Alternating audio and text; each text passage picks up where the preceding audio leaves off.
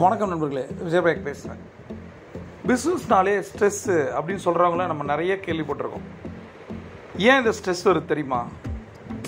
பிஸ்னஸை எப்படி மேனேஜ் பண்ணுறதுன்னு நிறைய பேருக்கு தெரில அதை எப்படி ஹேண்டில் பண்ணுறதுன்னு தெரில ரெண்டு விஷயங்கள் இருக்குது என் குரு கற்றுக் கொடுத்தது தான்.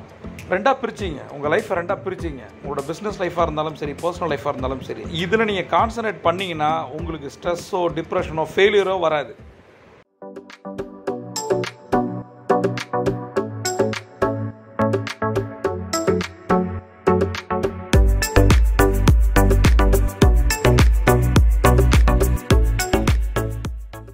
Control out of my control அவ்வளோதான் உங்களுடைய கண்ட்ரோல் இது உங்களோட கண்ட்ரோல் இல்லாத இது இந்த ரெண்டு விஷயத்த முதல்ல அனலைஸ் பண்ணுங்கள் ஸ்ப்ளிட்டப் பண்ணுங்கள் முதல் விஷயம் உங்களுடைய கடந்த காலம்.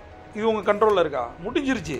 அதை நினச்சி நீங்கள் வருத்தப்பட்டாலும் கத்தி கூப்பாட போட்டாலும் எதுவுமே நடக்க போகிறதில்ல மாற்றவே முடியாது. ரெண்டாவது விஷயம் உங்களோட ஃப்யூச்சர் நீங்கள் பண்ணுற செயல்கள் தான் உங்கள் ஃப்யூச்சர் நிர்ணயிக்குது. உங்கள் ஃப்யூச்சர் எப்படி வேணால் இருக்கலாம். அது நம்ம கையில் இருக்கா?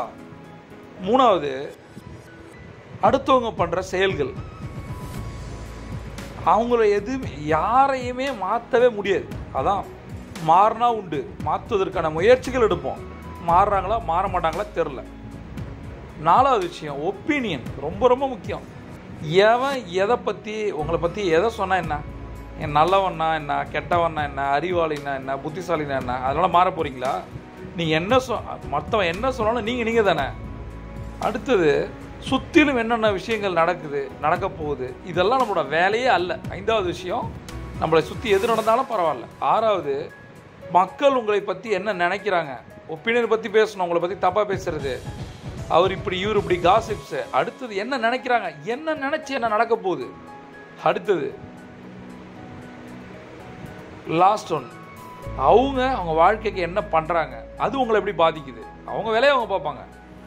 எல்லாருக்கும் ஞாபகம் மருதி இருக்குது சரியா?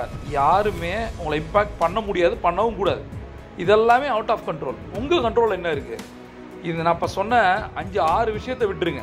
உங்கள் கண்ட்ரோலில் என்ன இருக்குது அதை சரியாக செய்யும் இல்லாத விஷயத்துக்காக நீங்கள் நொந்து போகிறது கஷ்டப்படுறது பயப்படுறது இதெல்லாம் வேணாம். இப்போ உங்கள் கையில் என்ன இருக்குது உங்களுடைய லிமிடேஷன்ஸ் உங்கள் கையில் இருக்குது உங்களுடைய எல்லைகள் உங்களோட பவுண்டரிஸ் உங்கள் கையில் இருக்குது உங்களுடைய தாட்ஸ் அண்ட் ஆக்ஷன் இருக்குது உங்களுடைய எண்ணங்கள் செயல்பாடுகள் உங்கள் கையில் இருக்குது என்ன மாதிரி இலக்குகளை நீங்கள் செட் பண்ணுறீங்க அது உங்கள் கையில் இருக்குது அடுத்தது அந்த அந்த செயலை செய்வதற்கான ஆற்றல் உங்கள்கிட்ட இருக்குது எனர்ஜி எவ்வளோ கொடுக்க போகிறீங்க மிக முக்கியமான ஒன்று ரெண்டே விஷயம் கடைசியாக சொல்கிறேன் ஒன்று எப்படி நீங்கள் சேலஞ்சஸை ஹேண்டில் பண்ணுறீங்க மேனேஜ் பண்ணுறீங்க ஓவர் கம் பண்ணுறீங்க உங்களுக்கு முன்னாடி இருக்க சவால்கள் என்ன? டாப் டென் சவால்களை எழுதுங்க.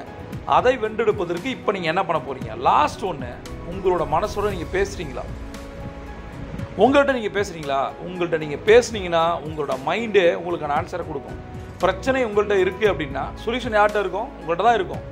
நீங்கள் அதிகாலை நான் ஒரு ஸ்ட்ராட்டஜி சொல்கிறேன் கீழே ஒரு டிஸ்கிரிப்ஷனில் ஒரு லிங்க் இருக்குது அந்த லிங்கை கிளிக் பண்ணி அதில் இருக்கிற பத்து விஷயத்தை செஞ்சு பாருங்கள் உங்களுக்கு என்ன சேலஞ்சஸ் இருந்தாலும் சரி என்ன சவால்கள் என்ன பிரச்சனைகள் எது இருந்தாலும் எல்லாமே சரியாகும். இதை பண்ணி பாருங்கள் இந்த வீடியோவில் உங்களோட கண்ட்ரோல் அவுட் ஆஃப் கண்ட்ரோல் இந்த ரெண்டு விஷயத்தையும் சரியாக பண்ணிங்கன்னா நீங்கள் ஒரு ஹீரோ இந்த வீடியோவில் என்ன கற்றுக்கிட்டீங்க ஏதாவது டவுட் இருந்தால் கேட்கலாம். பிரபஞ்சம் போட்டி தர காத்திருக்கு. நீங்கள் ஒரு சாம்பியன் சி ஆன் டாப்